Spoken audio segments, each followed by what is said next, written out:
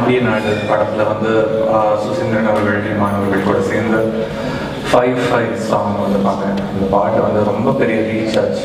ஐம்பது லட்சம் ஹிட்ஸ் யூடியூப்ல இது நான் பண்ண சாங்ஸ்லேயே மேக்ஸிமம் ஹிட்ஸ் அந்த பாட்டுக்கு தான். அதுக்கே அவங்களுக்கு முதல்ல நன்றி சொல்லணும்? அவங்க கூட ரெண்டாவது படம் பிணைஞ்சு வேலை பார்க்குறேன் அப்படின்றது வந்து ரொம்ப மகிழ்ச்சியான விஷயம்.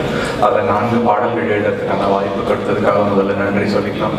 அது எல்லாத்தையும் பெரிய மகிழ்ச்சி வந்து முதல் தடவையா அப்பா நான் தம்பி மூணு பேரும் இணைஞ்சு ஒரே படத்தில் வேலை பார்க்குறோம்.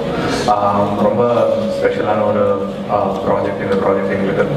ஆஹ் சின்ன வயசுல இருந்து அப்பா பாட்டு எழுதும்போது அவரை சுற்றி விளையாடிக்கிட்டு அவரை பார்த்துட்டு ஒரு ரசிகர்களாக நானும் தம்பியும் வீட்டில் விளையாண்டுட்டு இருந்தோம்.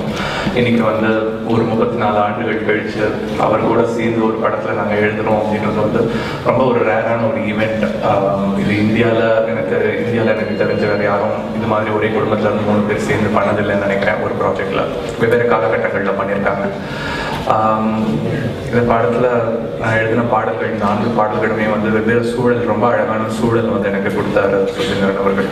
நீங்கள் நீங்க பார்த்த அந்த ஒருத்தி மேலே மீண்டும் மையலானே வந்து ரொம்ப பிடிச்ச ஒரு பாடல். அந்த பாடல் வந்து தன்னோட காதலை வந்து அந்த பெண்கிட்ட நேரடியா சொல்லாம தன்னுடைய தோழி மூலமா நீ போய் காதலை சொல்லு அப்படின்னு சொல்ற மாதிரியான ஒரு சாங் ஸோ அந்த சூழலே வந்து ரொம்ப வரிகளாகட்டும் இசையாகட்டும் ஆஹ், மாணவர்கள் வந்து அக்கப்பெல்லாம் யூஸ் பண்ணிட்டு அந்த அரேஞ்ச்மெண்ட்ஸ் பண்ணியிருந்தாங்க.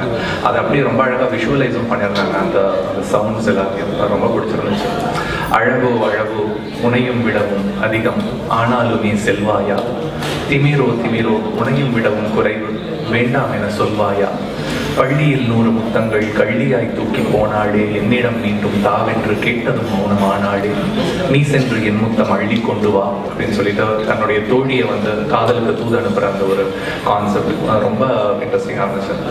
மாதிரி ஒரு ரோசா பாடல் ஒரு காதல் தோல்வி பாடல் பண்றோம். ஆனால் ரெகுலரான பாட்டா பண்ண வேணாம் அப்படின்ற நீங்க விஷுவல்ஸ் பார்த்தீங்கன்னாலும் அந்த சவுண்ட்ஸோ இல்லை அந்தோனிதாசனோட குரலோ எல்லாமே வந்து அதில் ஸ்டாண்ட் அவுட்டாக இருக்கும். லிரிக்ஸும் அதே மாதிரி பண்ணணும். ஸோ அந்த ரெகுலர் பேட்டர்னில் போவேணாம் அப்படின்ட்டு தான் அதை ஃபுல்லாக பண்ணோம். சரணம் சரணம்லன்னா அந்த படத்தோட பீரியடும் அந்த சரணம்குள்ளே கொண்டு வரும். ஸோ சாக் பீஸ் சாக்லேட் ஆட்டம் சப்பி கிடந்தான் அன்னைக்கு டேப் இல்லா கேசட்டை போட்டு பாட்டு கேட்டான் இன்னைக்கு. மரத்தில் மரத்தில் அவன் காம்பஸை கீறி இதயம் வரைஞ்சி வச்சான் அன்னைக்கு. இடியில் இடியில் அந்த பூமரம் பூரா கருகி போச்சுடா இன்னைக்கு கடைசியில் வந்தான் தண்ணிக்கு சாங் போகும் ரொம்ப அந்த அந்த ரைம் ஸ்கீம் அதே மாதிரி அதை பாடின விதம் அந்த எமோஷன்ஸை கொண்டு வந்த விதம் மியூசிக்கில் இருந்த அந்த ஹாண்டிங் ஃபீல் அதை வந்து நட்ராஜோட எக்ஸ்பிரஷன் நட்டியோட எக்ஸ்பிரஷன் அந்த சாங்ல கொரியோகிராஃபி விஷுவலைசேஷன் எல்லாமே வந்து சேர்ந்து வரும்போது ரொம்ப மகிழ்ச்சியாக இருக்குது பாடுறதுக்கு. இது எல்லாமே ரெண்டு பாடல்கள் எஸ்பிபி அவர்கள் பாடின எங்கே போனா இன்னொரு பாடல். எனக்கு ரொம்ப மனசுக்கு ரொம்ப பிடிச்ச பாடல்.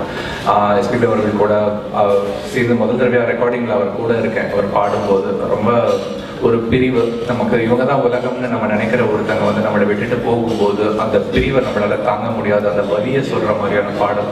அந்த பாட்டோட ஹீரோ எஸ்பிபி அவர்கள் தான் அவரோட அந்த குரல் வந்து இன்னும் எத்தனை எத்தனை ஒரு இருபது ஆண்டுகளுக்கு முன்னாடி நாம் பிறந்த ஆஹ், போது அவர் பாடின பொன்மாலை பொழுது பாட்டில் இருந்த அந்த குரல் வந்து இன்னும் அதே மாதிரியான ஒரு குரல் வந்து கேட்கும்போது ரொம்ப மகிழ்ச்சியா இருக்கு. ஒ- எப்போ ஒவ்வொரு சாங்குமே வந்து ரொம்ப யூனிக்காக வந்திருக்கு. தம்பியோட சாங்ல தம்பி பயன்படுத்தியிருக்கிற அந்த ஓமைகள் ஆஹ், அந்த சொல் தொடர்கள் எல்லாமே வந்து ரொம்ப ஃப்ரெஷ்ஷாக இருந்துச்சு. கலகத மௌனம் மாதிரியான சொற்கள் வென்றாலும் போ வென்றாலும் பொண்ணை மனசு தீடும்ன்ற சொல்ற அந்த விஷயம். அதே மாதிரி அப்பாவோட பாட்டில் வந்து அந்த டெக்னிக் ஒவ்வொன்றாய் திருடுகிறாய்ன்ற அந்த பல்லவி முதல்ல எதை திருடுறேன் ரெண்டாவது எதை திருடுறேன் மூன்றாவது எதை திருடுறேன்ற மாதிரியான அந்த கான்செப்டாக அதை வச்சுக்கிட்டு பண்ணது. அதுக்கு வந்து எப்பவுமே எழுதிட்டு மியூசிக் போடுறது ரொம்ப சிரமமான ஒரு விஷயம். ஆனால் வந்து ரொம்ப அழகாக பண்ணியிருக்காரு. அந்த அந்த ஃப்ளோ அந்த தாட் ஃப்ளோ வந்து சிதையாம பண்ணுறது வந்து ரொம்ப கஷ்டமான விஷயம். மாணவர்களுக்கு வந்து சுசிதன் அவர்கள் ரெண்டு பேருக்குமே நான் நன்றி சொல்றேன். இந்த ப்ராஜெக்ட்ல வந்து ஆஹ் வேலை பார்த்தது வந்து ரொம்ப ஒரு பெருமையான ஒரு விஷயம் எங்கள் குடும்பத்துக்கு நன்றி.